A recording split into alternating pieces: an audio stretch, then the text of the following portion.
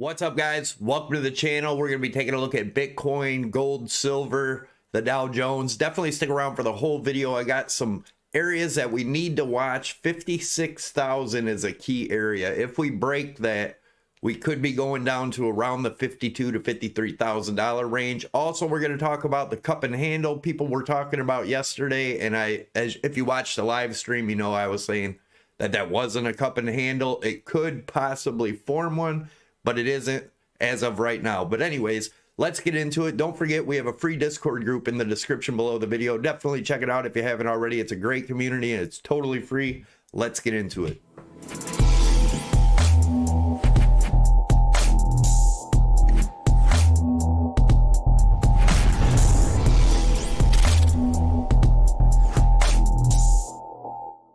All right, guys, as always, this is not financial advice, trading advice, nor is it investment advice. Always do your own due diligence and your own research before investing or trading in any markets. But, anyways, don't forget we do a free Ledger Nano S hard wallet giveaway. We do that every Monday. All you have to do to enter to win is make sure you scroll down, subscribe to the channel, tick that notification bell to get you notified when I post videos, smash that thumbs up, and I will pick a random comment from a random video throughout the week. So make sure you leave a comment below. And I know some of you had said you'd like to see some more uh, Litecoin and Ethereum uh, charts on here. So I maybe start making separate videos on that to try to keep the video short.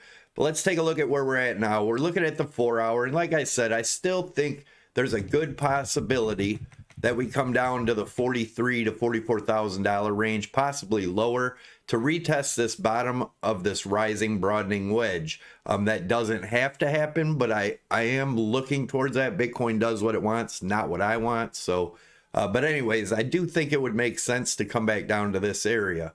Now let's take a look at yesterday. If you watched the live stream, um, we were watching this as bearish divergence, which it does seem to be playing out here. We had higher highs in the price action, lower highs in the RSI. That is bearish divergence.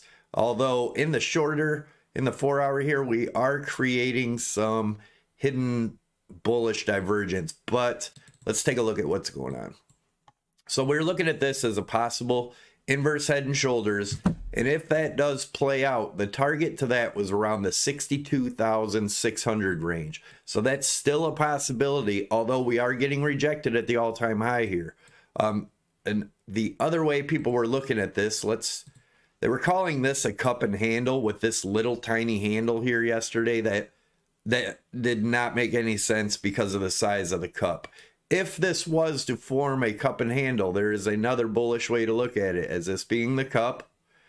And we come up to the trend line, come all the way back down to that 53, 50, 53, 5400 area, which would be this trend line right here off of these wicks, which was also the inverse head and shoulder trend line. If that was to happen when we come up and then we break this, um, our first our first area to look for would be that 62.6. And then if we took a measured move of that cup, if it is a cup and handle, would get us up to approximately, let me move this down, approximately 72,000, somewhere in that range. Um, now the the thing with that is we would be breaking the top of this rising broadening wedge, and if that was to happen and we gain support, Again, guys, this is the bullish case. We'll take a look at all cases. But if we put a trend line here, uh, let's say we broke out in this area somewhere, but if we put a trend line there, um, and we do end up breaking up out of this rising broadening wedge, we could be looking at a $90,000 Bitcoin. But until we break the top of that, we'll also take a look at some longer term charts. Uh, but let's say we break down the bottom here uh, then we'd be looking for the sixteen, seventeen thousand dollar Bitcoin. So it could go either way. There's no confirmation on exactly what's going on. It looks like as I'm making this, we did break the 5600, so our 56,000. I do have a measured move of 52,000. As you can see, we broke this rising channel here. Uh, there's a good chance we're going to see this 52,000 to 53,000 dollar range. Also, we could get a bounce here, 53, 54 off that 200 EMA on the hourly. So keep an eye on that, guys. It does look like we are headed towards that area. I do expect a bounce there. Um, looking at the RSI, if we close down here, break below this, I don't know why these, let me get that one off there. As you can see, I have this triangle drawn in here. If we close down below here, we have quite a bit further to go. So 52 to 53,000. Um, look for that area for a bounce. And again, that would be aligning with this neckline here. Now, if we break below this neckline, then I think we could be headed back down to these ranges. Like I said, uh, 42 to 43,000. But keep an eye on this bottom trend line, guys. If that breaks, it's going to get pretty ugly for Bitcoin, in my opinion. Um, Let's take a look at the Dow. Dow yesterday made new all-time highs again, although we're still making bearish divergence here, lower lows or lower highs in the RSI, higher highs in the price action. It can't go on forever. Um, gold, as you guys know, we had this target from November at 1736, and I said if that break, I was expecting 1647 area, and it broke, and now the 1736 is resistance, I do think we're still heading down to this range. Silver, we broke back down out of the channel. My target for silver is still 20 bucks. Uh, DXY, DXY, like I said, I am bullish in the longer term for over for about a year or so in the dollar. And what, as we know, when the dollar rises, everything else falls. We are getting rejected here at the 55 EMA, which we've been talking about we expected, but I do expect to break above that. Once we break above that 92.5 range, you get support. Our next area is the 94. Like I said, over the next year, I am bullish on the dollar. Reason being, if you look at these two fractals here, guys, uh, you can see last time we broke out of the falling wedge. Uh, right here, it's the same in the MACD, same in the MACD, same in the RSI. The fractals playing out even in the indicators. So that's why I'm looking very bullish on it. If we look at the four hour, if you guys were watching the live stream yesterday, uh, let me get in here. Uh, we expected this bounce here that we're getting now. We are turning back bullish again in the four hour. Uh, plenty of room to go on the RSI. So yeah. All right. This is the dollar overlaid on Bitcoin. Every time the dollar bottoms on this trend line, Bitcoin is at or near its top. I'm not saying it's topped for sure, but there's a good possibility. Every time Bitcoin bottoms, the dollar's top. So if the dollar does rise all the way back up here, this will be once the dollar gets back up in this area, will be a good time to buy into Bitcoin. That could be next year, it could be 2022, who knows. And this is the macro. If you look at the white arrows here on Bitcoin, that is when Bitcoin tops occurred. And if you look at the white arrows, they're in the same place. It's when the dollar bottoms occurred. Same thing here. The dollar tops in yellow, Bitcoin bottoms in yellow, line up pretty good. Now this is the the longer term chart. We did get rejected at the 0.236 and we've been talking about this. If we zoom in here, if we do get a break above this trend line here and get support on it, then yes, we could come up to retest this uh, top one, which we've topped out both in 13 and 17. And if we were to do that again, then you could be looking at that $200,000 Bitcoin, quarter million dollar Bitcoin, whatever. But until we break above this, and currently that's at that 62.5 range. And if we break above it, get support, then we could be looking for those over the next year or so. But otherwise, if we do just get rejected like this, uh, we could be having a major correction Coming down to the next fib on this would be around 35,000, uh, depending on how long it would take to get there. And then we got 20 and then so on and so forth. But make sure you subscribe to the channel and uh, we'll keep up on this stuff. And looking at the funding rate, funding rate is pretty high again, favoring the Bears.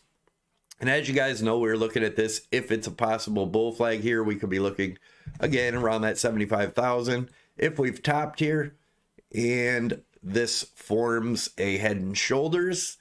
Uh, this is speculative, but here would be the neckline that would get us down to around the $9,000 range, which is also at 85, about an 84% correction, is which we got in 17 and uh, 19. We got a 73% correction, something like that. But if the case, that's the bearish case here, bullish case, obviously looking at this as a bull flag. But let's go to this is what we've been looking at as a possible fractal. We almost broke the all time high. If we're not able to, we could still be forming what I've been talking about, guys, is the uh, triangle top here and coming down into that 8,800 to $9,000 range that we've talked about if this plays out as a fractal. But again, if we break the all time high, this is invalidated. Uh, but as of right now, still a possibility. Um, we've talked about how tops are formed, and I'll go over that real quick. Uh, big wallets sell, they'll buy back, make a floor, get everybody bullish again. They'll sell, buy back, get everybody bullish again, and that creates triangles. And we've created it in 17. Here's the one in 19.